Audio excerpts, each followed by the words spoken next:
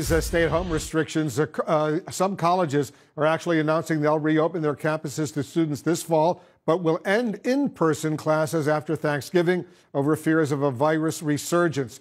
Joining us now, Sal Khan, the founder and CEO of the Khan Academy, a free online education resource. Sal, thanks so much for joining us. So, what do you think? these colleges considering bringing students back early in the fall so they can wrap up the semester before Thanksgiving?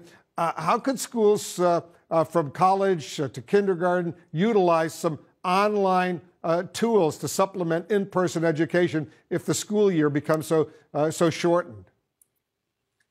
Yeah, I think the universities they're in a real bind right now because obviously a lot of what they bring to the table is being able to be on the quad and and sit in the dorm room and have those late night conversations. And now in a world you know, I think uh, where for sure when we get back into flu season or whatever it might be called COVID season now uh, in November, you might have to close down again. But most of the universities that I've been talking to, they they they are looking at this with eyes wide open. They're they are realizing that they might have to uh, go straight to virtual right into back to school or some hybrid. Uh, so you know they're all using the the standard tools we're all using now, the the video conferencing software a lot of them are using tools like Khan Academy for those early entry level courses. A lot are using uh, MOOCs and those types of platforms, and they're trying to digitize as quickly as they can. But it is it is a tough scenario because there's four or five different ways this could all go.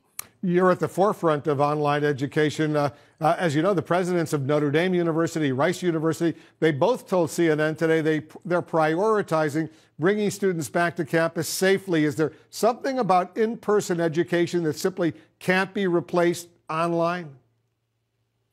Yeah, I you know to be very clear, and I'm someone who in some ways represents a lot of online education. I would always take an in-person interaction with an amazing teacher over uh, technology any day for my own children, and by by that, uh, you know, pretty much anyone else's children. And so, uh, pure online is never the way to go. Uh, it might you might have to go in that direction because of emergencies like this.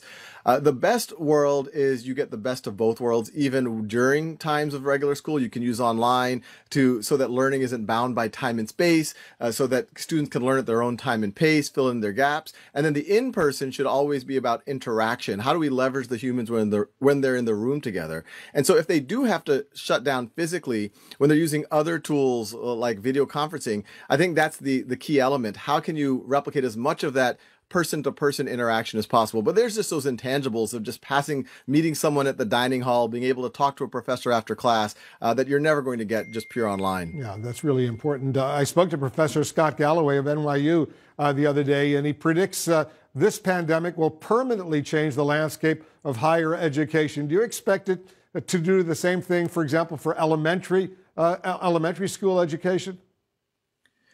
I think so. You know, I, I was I just talked to uh, Albert Carvalho, the superintendent at Miami Dade earlier today, and he was just talking about his scenario planning for back to school, where he sees a world where certain students are going to want to be in that physical experience uh, the way it always was, while a lot of other students are going to need a hybrid experience where they actually are able to do certain things better uh, from a home environment. And for certain kids, uh, maybe their family is moving around a little bit more, they might need a lot more of that virtual. And in that world where you're starting to cater to these different use cases, even the physical experience experience has to be a little bit more blended with the technology. You're going to have to put a camera in the classroom.